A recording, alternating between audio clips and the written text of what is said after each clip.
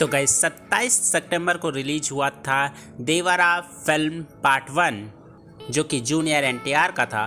Film का पहले दिन का कलेक्शन बहुत ही ताबड़तोड़ हुआ है। ऐसे में दोस्तों, जूनियर एनटीआर सिर्फ़ थे फ़िल्म में तो भाई इतना तगड़ा कलेक्शन हुआ है। लेकिन जूनियर एनटीआर का नेक्स्ट फ़िल्म अब आएगा, वॉर टू, और उसमें जूनियर एनटीआर के साथ ऋतिक रोशन भी है। तो भाई वॉर टू का कलेक्शन क्या ही होगा? बवाल कलेक्शन होगा। तो बात करेंगे कलेक्शन के बारे में और आपको फ़िल्म के बारे में भी बताऊँगा। तो वीडियो को लास्ट तक ज़रूर देखना। वेल हेलो दोस्तों welcome back to my YouTube channel movie वाला दोस्तों वीडियो को लाइक और चैनल को सब्सक्राइब कर लेना। आगे ऐसी ही वॉर टू के बारे में जानने के लिए। गाइज़ वॉर टू धमाकेदार फ़िल्म रहेगा, क्योंकि वॉर पार्ट वन आप लोग ने देखा है क्या लेवल का मूवी था। स्पाई यूनिवर्स का one of the best film है वॉर फ़िल्म और वॉर पार्ट वन में ऋतिक रोशन का एंट्री सीन भाई आइकॉनिक है एकदम। तो वैसा ही कुछ देखने को मिलेगा वॉर टू में भी।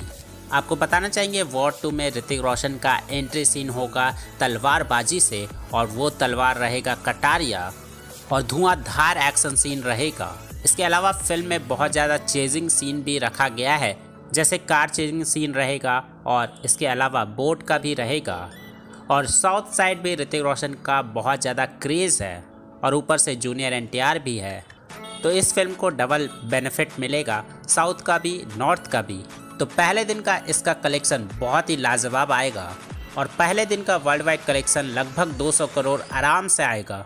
क्योंकि भाई, जब देवारा फ़िल्म का पहले दिन का वर्ल्ड वाइड कलेक्शन आ सकता है एक सौ बहत्तर करोड़ तो भाई, ये तो फिर भी वॉर टू है। और ऊपर से इंडिपेंडेंस डे का भी माहौल रहेगा उस टाइम और पूरा देशभक्ति फ़िल्म रहेगा। तो गारंटी है भाई वॉर टू का कलेक्शन कोई मामूली कलेक्शन नहीं रहेगा। 200 करोड़ वर्ल्ड वाइड और 100 करोड़ नेट कलेक्शन फ़िलहाल आपको क्या लगता है वॉर फ़िल्म का कलेक्शन क्या होगा? प्रिडिक्ट करके ज़रूर बताना। वीडियो पसंद आई तो वीडियो को लाइक करना चैनल को सब्सक्राइब कर लेना। मिलते हैं नेक्स्ट वीडियो में। तब तक के लिए बाय